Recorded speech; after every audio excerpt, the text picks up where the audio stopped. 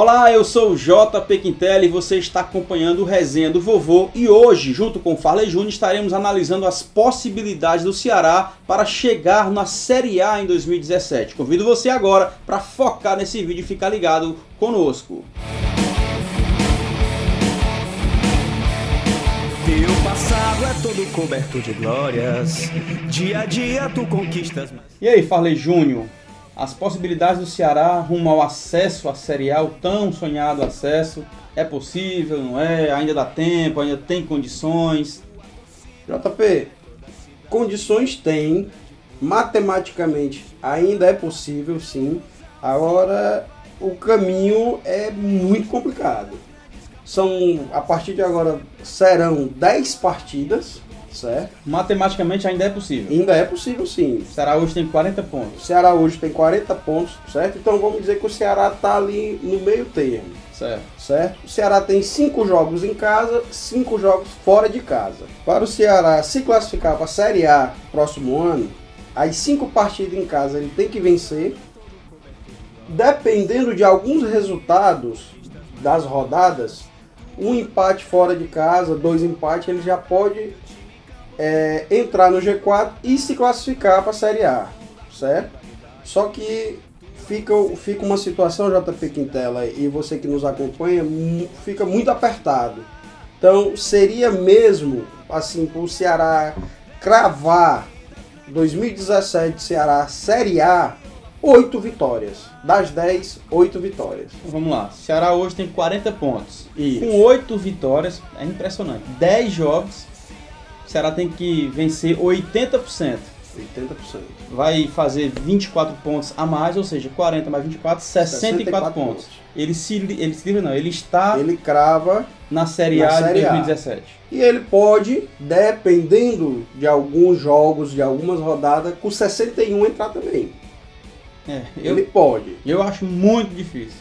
Ele pode Mas agora. matematicamente, matematicamente, o Ceará ainda tem você está dizendo que é possível.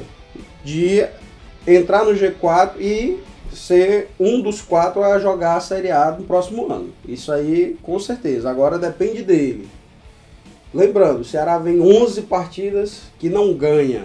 Então, é complicado. Muita coisa. Muita 11 coisa. jogos sem uma vitória é complicado. E hoje, o Ceará, como eu falei, está em nono com 40 pontos, ele também ainda não está 100% seguro na Série B do próximo ano, se ele não conseguir subir. Porque para ele continuar na Série B, ele tem que ter no mínimo 46 pontos. Então, peraí, peraí, peraí. Vamos, vamos organizar o torcedor nesse, nesse momento. Vamos lá. Para o Ceará chegar à Série A, hoje ele tendo 40 pontos, ele Teria precisa que- ganhar no mínimo, aliás, no mínimo não, tem que ganhar 8 partidas, fazer 64, 64 pontos. Seja com Isso. vitória, com empate, mas tem que fazer 64 pontos. Isso. Isso garante o Ceará na Série Na A do Série A próximo do ano. próximo ano. Aproximadamente 61 pontos é possível, É possível, desde que a... Dependendo de alguns os resultados alguns resultados, de algumas ajudem tal. rodadas. Pronto, então essa é a condição do Ceará, segundo Farley Júnior, matemático, Mister, Sister Farley Júnior, para que o Ceará venha a estar na Série A do próximo ano. Agora, segundo o matemático Farley Júnior, diz que também é possível o Ceará cair para a Série C. É, é uma possibilidade muito remota, mas tem. Por que, JP Quintela? Hoje o Ceará tem 40 pontos. Para ele escapar do rebaixamento, ele tem que ter aí 46 pontos. Quer dizer, são duas vitórias que ele precisa para, vamos dizer, não, não entrar na zona. Mas o Ceará vem de 11 partidas sem ganhar. Certo? Então, ele tem que se preocupar em quê? Ganhar e olhar para cima, porque se ele perder a próxima partida, as outras duas partidas que é contra o Oeste e Náutico fora de casa, ele perder, e dependendo do resultado, ele pode já entrar no Z4, na zona de rebaixamento. E aí o bicho pega. Se o bicho já tá pegando agora, imagine ele caindo para a zona de rebaixamento, como é que não fica. Então, esse jogo contra o Joinville vai ser um divisor de águas para o, o Ceará Sporting Clube. Beleza, fala aí. Agora, como você falou, né? É possível o Ceará chegar à Série A, assim como é possível o Ceará jogar a Série C em 2017. Mas assim, É, honestamente, você acha que é mais provável o Ceará permanecer ou o Ceará cair para a Série C? JP Quintela, você bem sincero, bem sincero mesmo. É permanecer, permanecer. É difícil o Ceará chegar ao G4? É, é complicado, é, são 10 partidas, são confrontos diretos, time que vem, os times vêm crescendo nessa, nesse segundo turno, mas eu acredito na permanência do Ceará na Série B. Claro, se ele vir mudar realmente de, de atitude, de, de forma de jogar e alavancar, coisa que ele não vem fazendo há 11 jogos, ele tem total possibilidade de chegar ao G4 onde ele já teve e pegar uma dessas quatro vagas aí e Série A ano que vem. Mas eu, particularmente, eu acho que o Ceará vai continuar na Série B mesmo. Escapar do rebaixamento e mais um ano de Série B. Lembrando que para que o Ceará fuja da Série C, como já falou o nosso parceiro, o estatístico, matemático Farley Júnior, ele precisa apenas de duas vitórias. Então, assim, Isso. concordo contigo que é mais fácil a permanência do que a queda, até porque em 10 jogos basta 6 pontos. Agora, a pergunta é: o, qual é o caminho do Ceará para chegar ao G4, para chegar à Série A do próximo ano? Por onde ele precisa percorrer?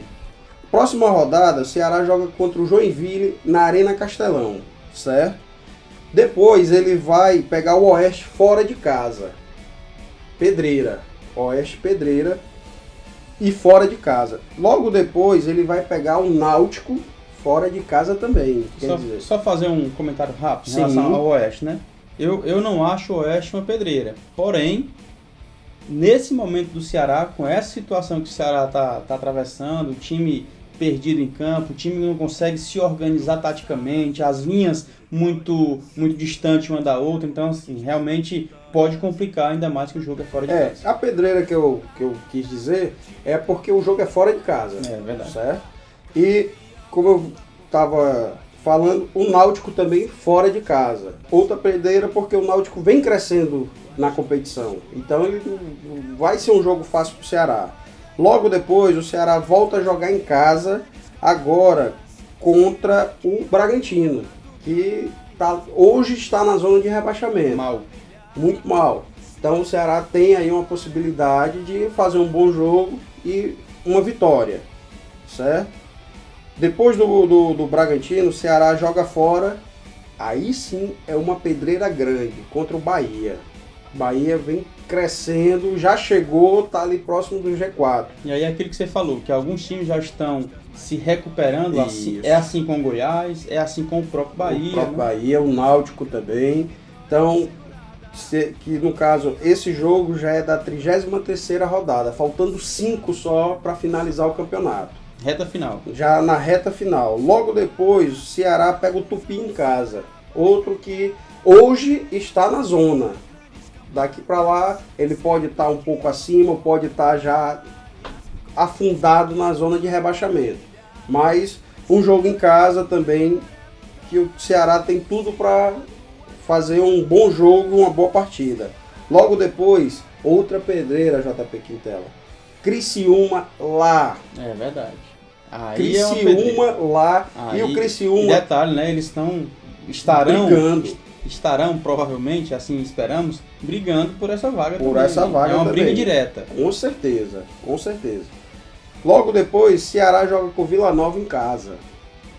Um jogo muito muito bom para o Ceará, porque jogou lá, ganhou, ganhou bem.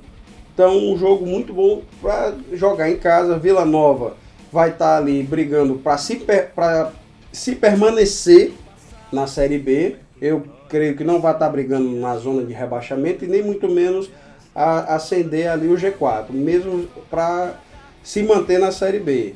37 rodada, Ceará e Paraná em casa também. Então, Paraná no meio da tabela, creio eu, vai estar ali também brigando para permanecer mais um ano na Série B. E finalizando o jogo fora contra o Vasco no Rio de Janeiro, que pode ser um jogo para cumprir tabela, Vasco possivelmente campeão, o Ceará permanecendo na, na Série B, ou um jogo que os dois já estejam classificados, ou até mesmo um jogo que o Ceará possa estar, tá, que eu acho difícil, mas tudo pode acontecer no futebol, tá brigando com o Vasco pelo título. Ninguém sabe. E aí, para o um amigo torcedor, né? Se o Vasco estiver brigando com o Ceará ou o Ceará brigando com o Vasco pelo título, aí é uma boa notícia. Porque para quem sabe, para você que sabe, que conhece futebol, o Vasco é o eterno, eterno vice. Então, se estiver brigando ali, quem estiver brigando com o Vasco pode comemorar o campeonato, porque o Vasco vai ser vice mais uma vez. Aí você ouviu, você acompanhou mais uma resenha, mais uma resenha do vovô com meu amigo Farley Júnior. Valeu, Farley. Muito obrigado, parceiro. Valeu, JP. Tamo junto. Isso aí que o JP falou do Vasco, não é verdade não. Não é eterno vice não. Não cai na dele não, viu? Tamo junto. Um abraço. Valeu. Tá aí, amigo, você acompanhou as possibilidades de acesso do Ceará Sporting Clube para a Série A em 2017 e também uma possível, mas pequena possibilidade, né, uma possibilidade remota da, do Ceará ser rebaixado para a Série C. Eu e Farley Júnior batemos aquele papo esperto e, claro, queremos saber a sua opinião. Vai nos comentários, deixa a sua participação. Eu te convido a curtir esse vídeo se você gostou. Se você não gostou, também deixa aí o seu dislike, né? Não tem problema. Aproveita e vai na nossa fanpage facebook.com/barra canal do vovô e no Twitter twitter.com/barra canal do vovô. Se você ainda não é inscrito, corre lá nesse, nesse sinalzinho vermelho, nesse botãozinho vermelho, se inscreve, divulga o nosso trabalho e fica atualizado de tudo que acontece no Alvinegro de Porangabuçu. Obrigado mais uma vez pela sua audiência. Eu sou o JP Quintela, me despeço por aqui. Fique você com a paz de Cristo. Te espero no próximo vídeo. Tchau!